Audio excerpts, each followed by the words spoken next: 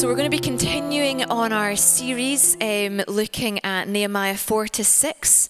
Uh, I think I messaged out just if you wanted to read that in advance because um, I'm not going to have the passages up on the screen. It's just too much. Uh, text to have up. So uh, have your Bibles open and uh, you can kind of see there's main themes that the chapters uh, take us through. And we are actually going to work through chapter 4 we're going to mention chapter 5 and then we're going to look at chapter 6 and then our, our response as a church to what God is doing with Nehemiah through this.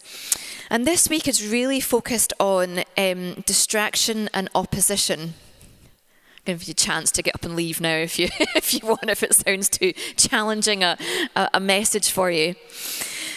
So, I wanted to have our first slide up and I remind us of our vision, who we are as a church.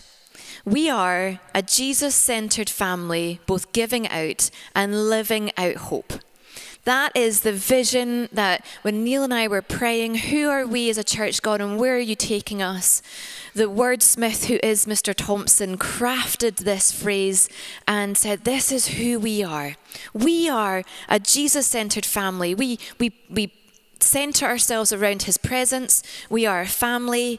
We live out hope and we give out hope. So that internal reflection and that external action of making sure that we are integrating into our communities for people around us. We are people focused on Jesus and on loving one another well.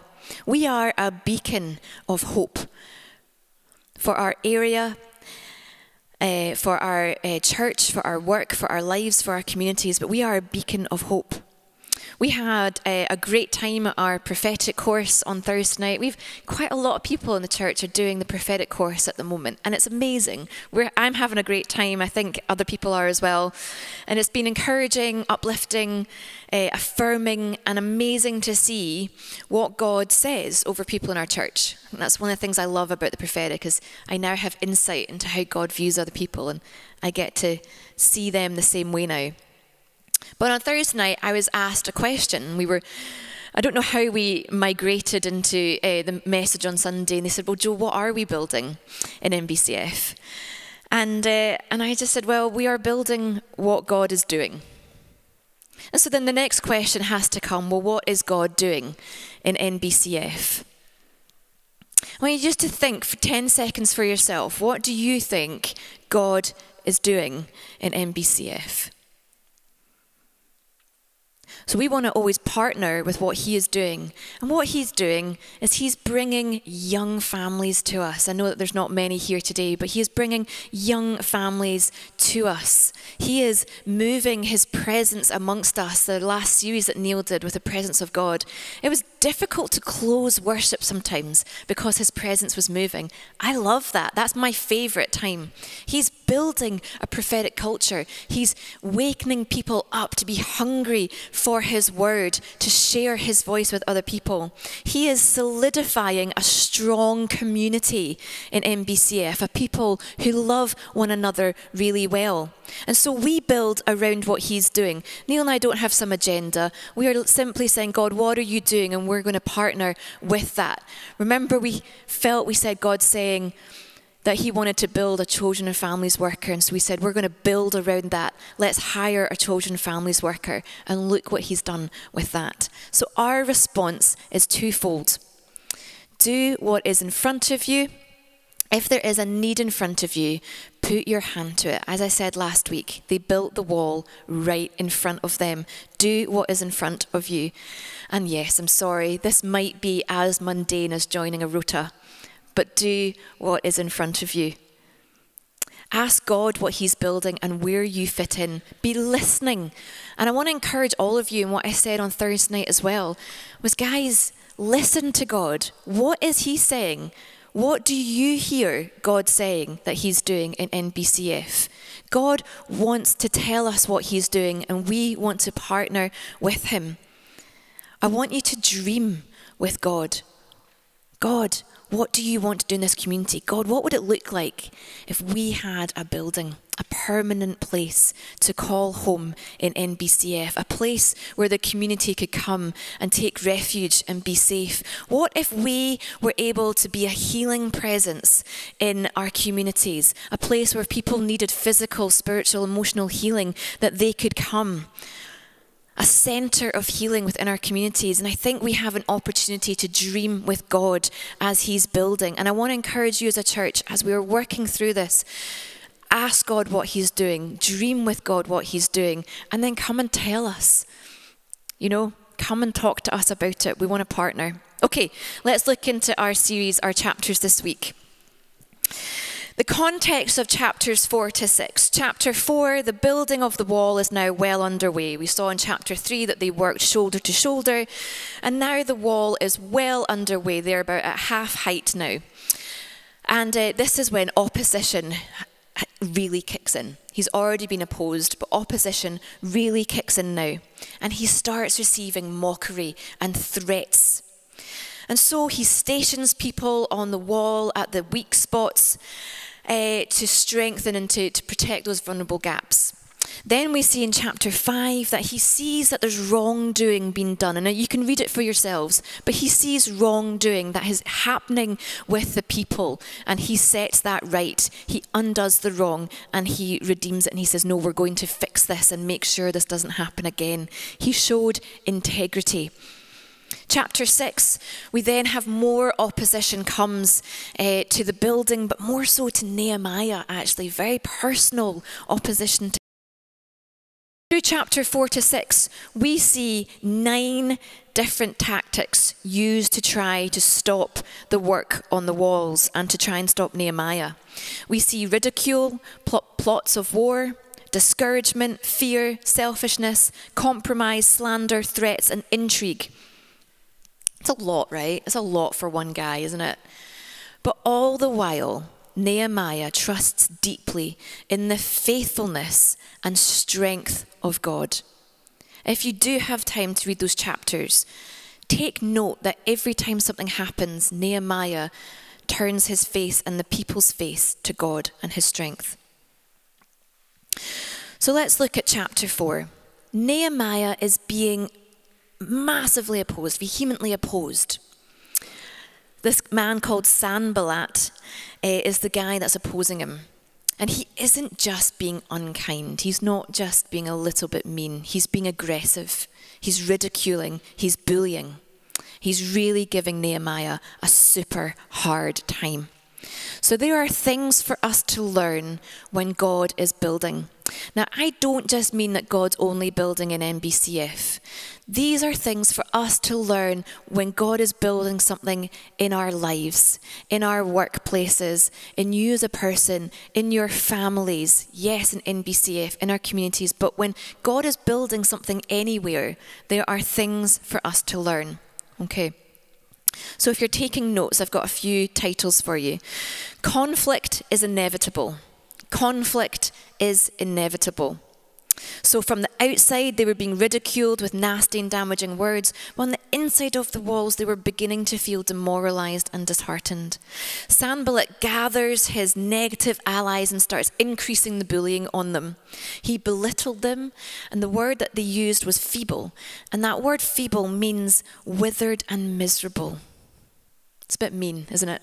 He mocked their optimism. He undermined their confidence. He magnified their problems. He ridiculed and demeaned their efforts.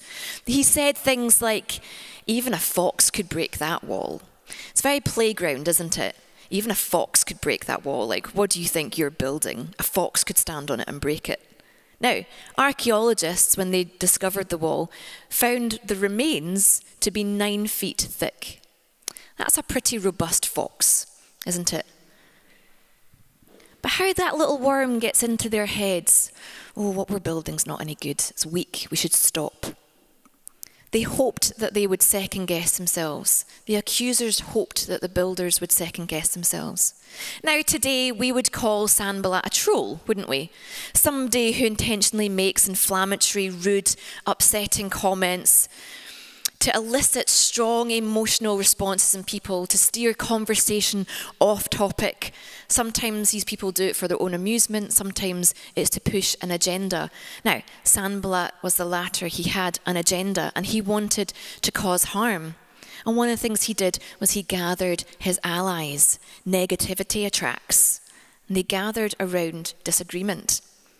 And this sort of behaviour happens today, and sadly, not just from outside the church. So conflict is inevitable. Discouragement is understandable. It says in the passage, the strength of the labourers is giving out. Now they were toiling and stumbling under the work that they had. And it reminds us of Elijah. He was exhausted and he was under a great depression. You might remember this passage. And he, he fled and he took some time aside. And an angel of the Lord came and tended to him and said, You need to nap and have a meal. And actually, sometimes the best thing that we can do when we're exhausted is have a meal and have a nap. He took time aside to eat and rest.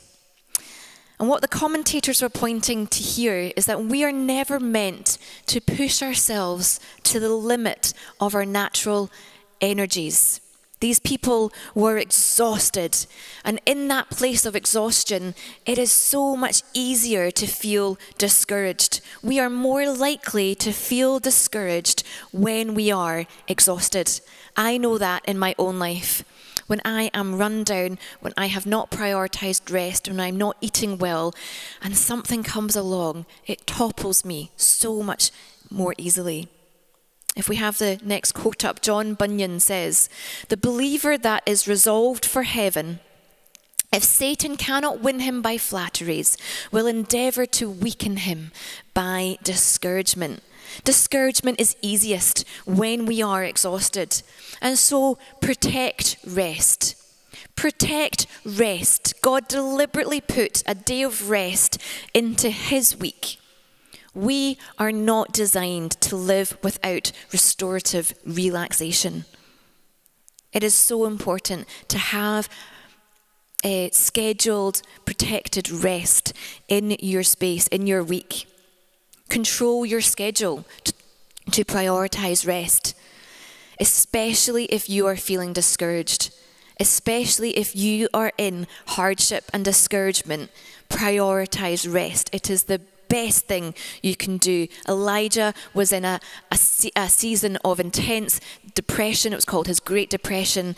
And what God said to him is that you need to eat well and you need to sleep. And that is what we need to do to protect ourselves from discouragement. So for me, this looks like having fun.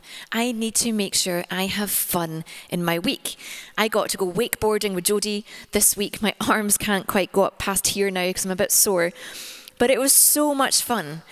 But I know that for me, rest doesn't look like sitting binging Netflix. Rest looks like having fun. It looks like having something where I'm not responsible for it, I'm not planning for it, I'm having fun, and that gives me life.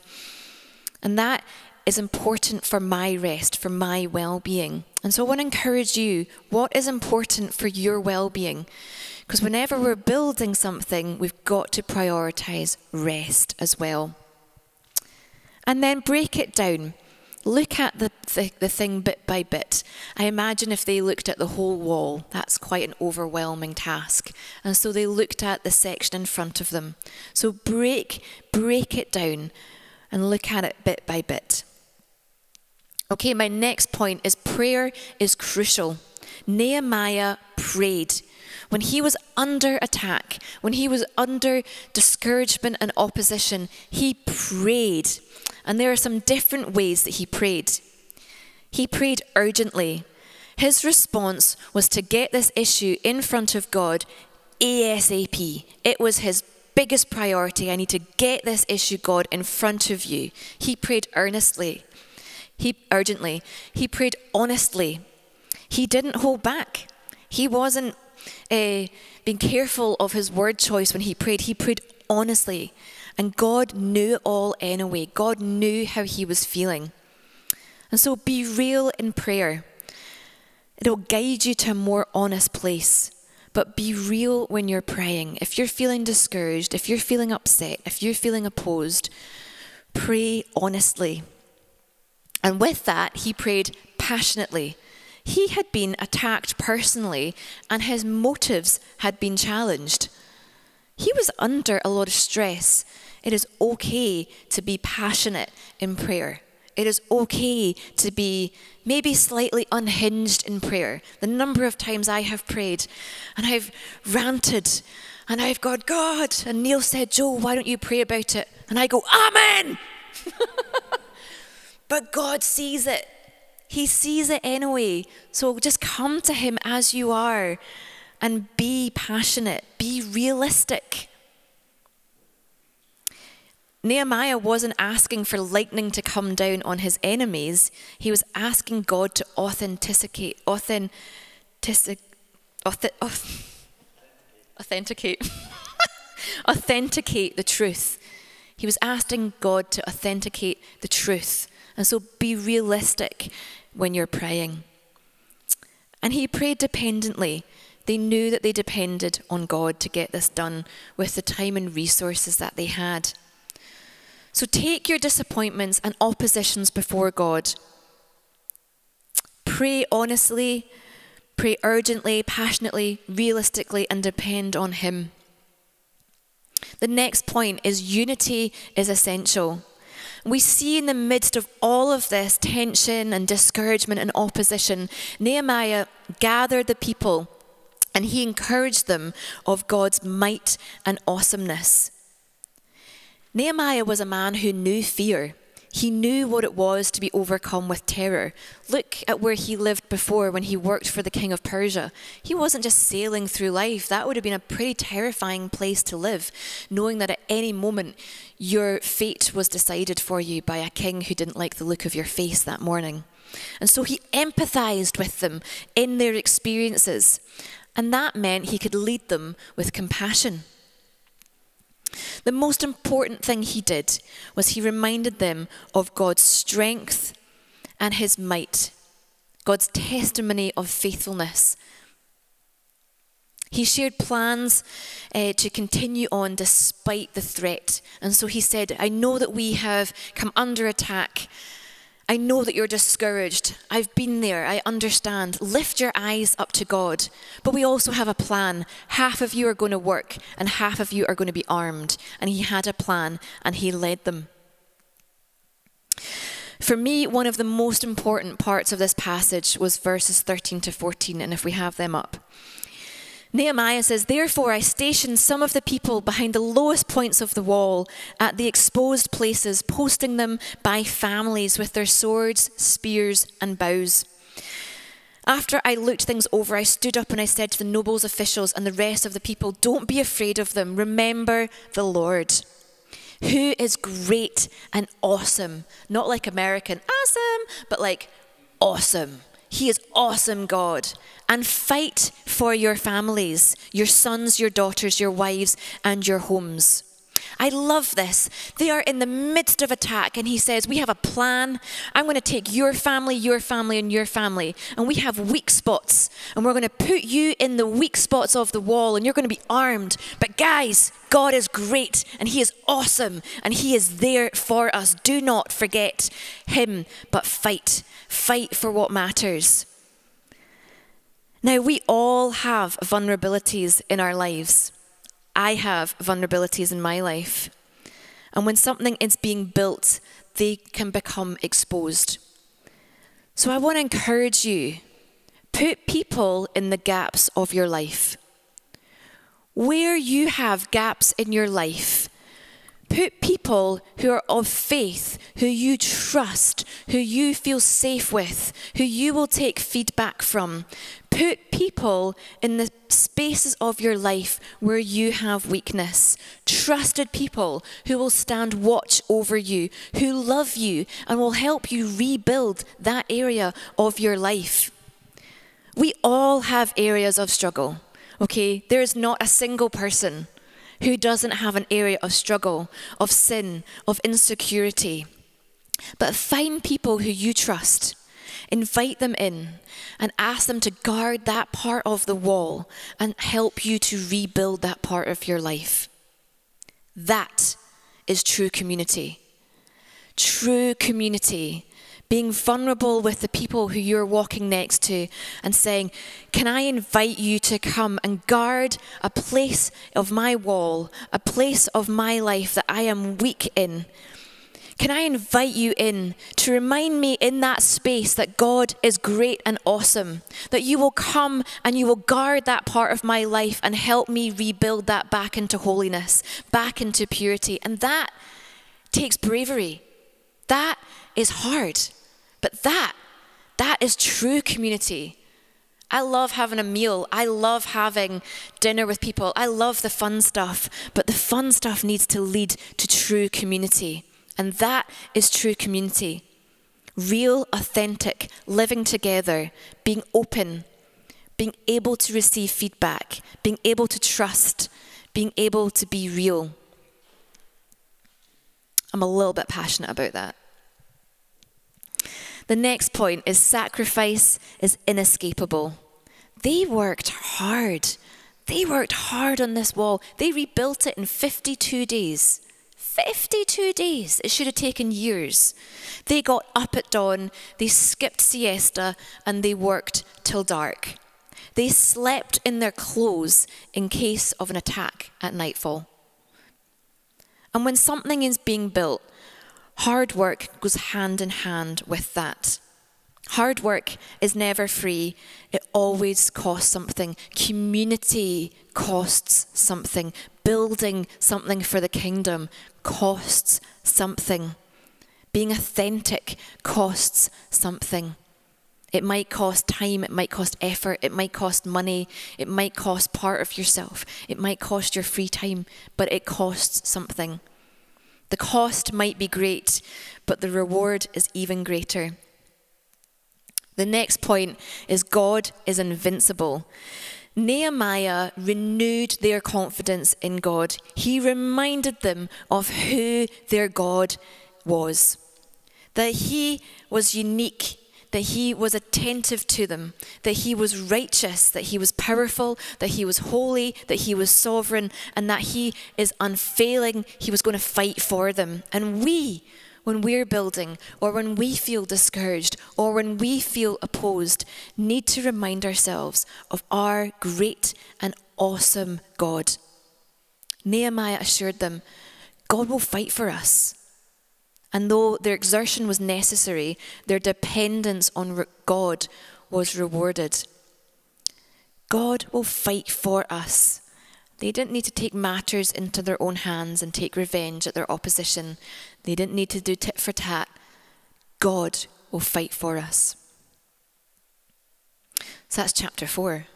Chapter 5 there was economic and social problems which Nehemiah handled firmly, swiftly, but with compassion. And we're not going to focus on this chapter this week. I mean, do read it, it's, it's a brilliant chapter. And it showed Nehemiah to be a man of integrity and justice, that he fixed the wrongs. He had his own crisis going on, he was being attacked from all sides. And even when he was being attacked, he fixed the justice of other people. What a guy chapter 6. For it doesn't get any easier for Nehemiah here. He's having a hard time. Raymond Brown says this if we have the next post up. Nehemiah hasn't seen the last of his opponents. He has coped magnificently with varied problems personal, political, administrative, and social. Now his united team has rebuilt the wall and not a gap was left in it. All that remains is to set the doors in its gates. And this is coming into chapter 6 now. But soon he is confronted with fresh troubles. They are part of the enemy's design to shatter him as he puts the final touches to a highly successful operation. The memoirs now record details of distinct plots made against God's servants, servant at a crucial time in the enterprise. So that's where we're at when we're coming into chapter 6. They're just about to put the doors on, and more opposition comes. So there was a plot to kidnap Nehemiah. His opposers, Sanballat and crew, realized that they couldn't bring the job down, so they tried to bring down the man. They knew that it was more than a wall that he was building. He, they saw that he was building a community, a community with faith, a community with a great and awesome God, and they knew that he was a great, influential spiritual leader. So Sanballat and his ally Geshem wanted to lure Nehemiah into the valley of Ono. I mean, it's in the name, isn't it? Oh no, better not go down to Ono. The thing is, it would have taken a day's travel to get there. You would have had a day of negotiations and a day's travel back. And Nehemiah knew that he couldn't afford three days out of the, the important work that he was doing. And he also knew that they were planning to harm him. So he replied and he said, I am carrying on a great project. I cannot go down to you. Why should I stop work and leave it to go down to you? Four times that message was sent, four times the same reply was given. But Nehemiah knew his conviction and he was standing by it, completely unmoved. He refused to be manipulated.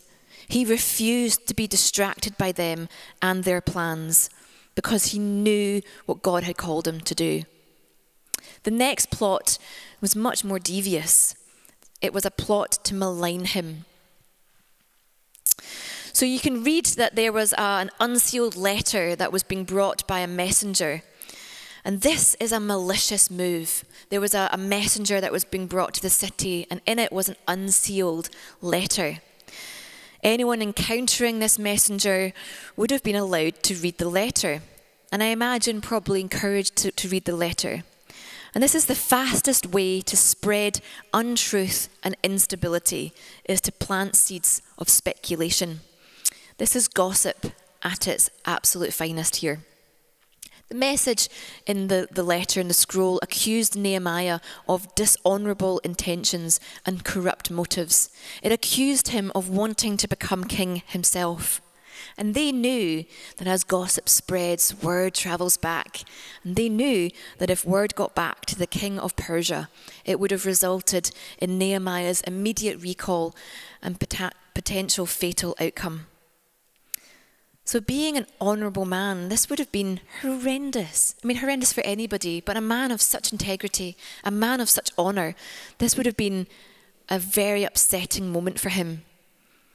But he handled it by setting the record straight, but he also didn't get lured into it. He said, That is not true.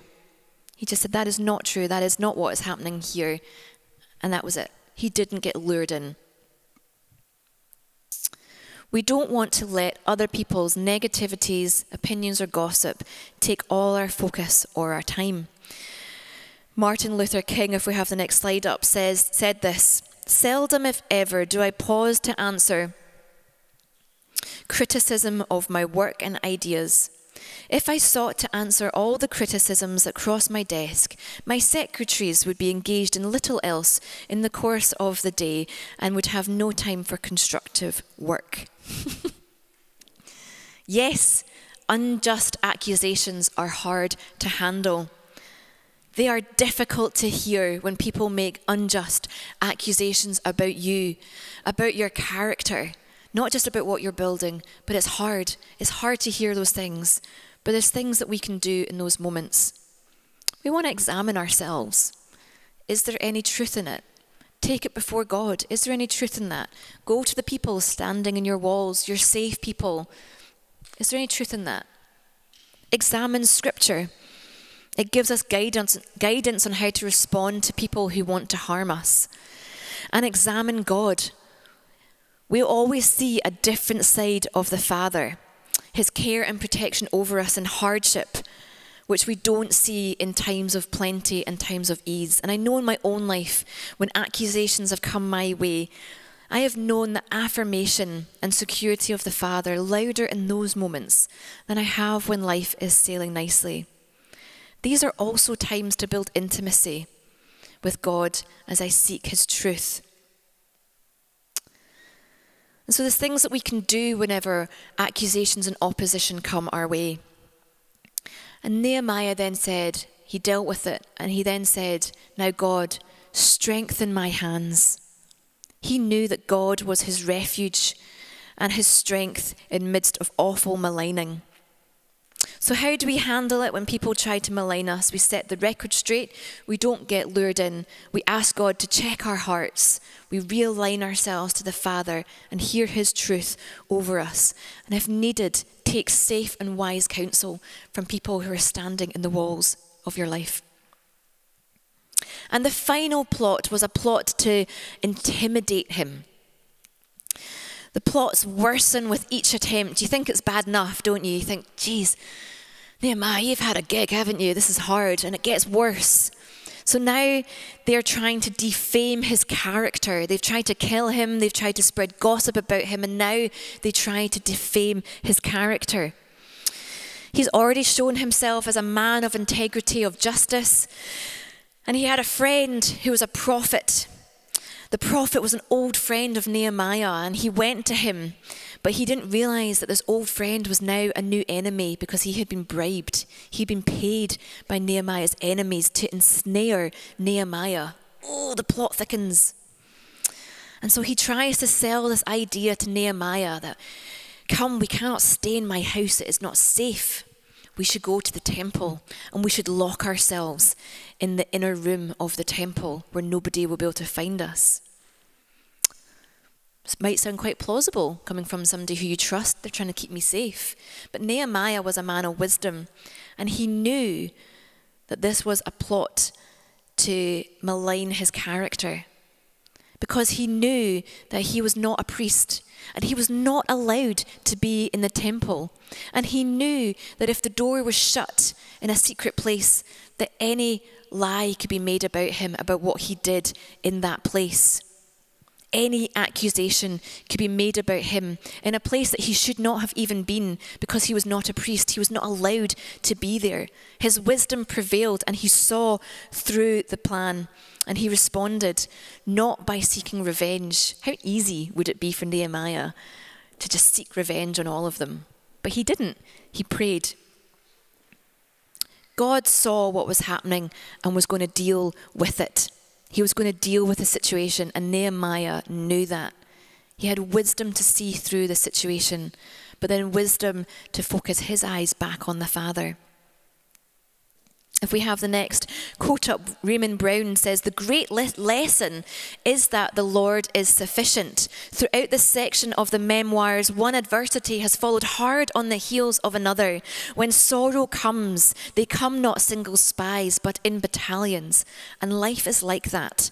And Nehemiah's stories has been preserved in Scripture to demonstrate how we too, faced with multiple testing, can handle such pressures creatively. He is, a, he is an inspiration, isn't he? He's an inspiration. Hardship hand, taken hard on the heels of one another, and his response is never to take revenge, but it is to turn his face and the face of the community back to the Father. And when God is building something in NBCF, in your own lives, in your families, there will always be some form of negativity, some form of criticism, disappointment. And we can't live hiding in a bush, can we? We can't live life hiding in a bush, trying to hide from anything that might harm us. Making a difference for God means having a voice, it means making a difference. It might mean upsetting people. But how we handle opposition is vital. Not that we can avoid it, we can't avoid opposition, but we can learn to be people who handle opposition. Bring God into the center. Bring Him into the center of whatever He is building in NBCF, in your homes in your families. Be real with Him. Pray about it earnestly, passionately, urgently, honestly. Be real. Remind yourself and the people around you of His strength, of God's strength, of His great and awesomeness. Remind yourself of the testimony of what God has done before. Don't give your opposers any more time than they need to set this record straight. He didn't go down to the valley, he set the record straight and he went back to what God was building. and have people who you trust in your life. I don't just mean in your life who you walk to school with, I mean in your life, who know the inner workings of your life. Nehemiah had his close, trusted colleagues. You know, they were the people who he looked at the walls with. He was the people who he confided with. It wasn't the many, it was the few. Bring people into the gaps of your life. This is true community. We will always get through times of opposition and disappointment by keeping God in front of us and people who we trust beside us. If we have the last slide up, Raymond Brown says, with such confidence and commitment, Nehemiah and his colleagues continued to build despite verbal assault, psychological pressure, physical danger, natural discouragement, crippling fear, and extreme danger. They were enabled to continue not because they glorified in a robust faith, but because they trusted in a reliable God. That's a good word. Let's pray. Father God, I thank you that you are a reliable God, and no matter the disappointment or opposition that we face in all aspects of life, that we can trust you, that you come and you strengthen our hands. And so, God, I pray that you would help us to be a true community who invite one another into the walls of our lives, to stand strong as we build what you are building, God, to be real and honest, to pray earnestly before you, and to be partners with what you are building. God, help us to be people who keep keep you in front of us and people who we trust beside us. Amen.